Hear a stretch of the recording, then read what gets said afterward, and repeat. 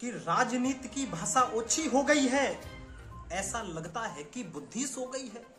मन के अंधे राह दिखाने लगते हैं, लूले लंगड़े दौड़ लगाने लगते हैं, आसमान छोटा बतलाने लगते हैं।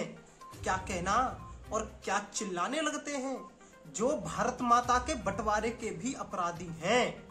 मन के अंदर सैतानी हैं, तन से अवसरवादी हैं। संस्कारों को गाली दी है सामंती अंग्रेज़ों ने। भगवा को आतंक बताया है काले अंग्रेज़ों ने।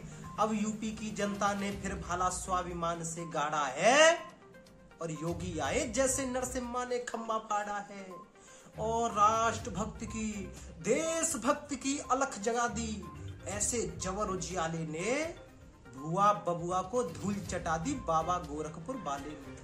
तो जागो भारत माँ के बेटो, अपना फ़र्ज़ निभाना है। तो जागो भारत माँ के बेटो, अपना फ़र्ज़ निभाना है और खुद भी वोट कमल को देंगे, औरों से दिलवाना है। और सत्रह वाला चमत्कार, अरे सत्रह वाला कारनामा पुनः करके हमें दिखाना है और बाबा ही सीएम बनेंगे, दुनिया को बतलाना है।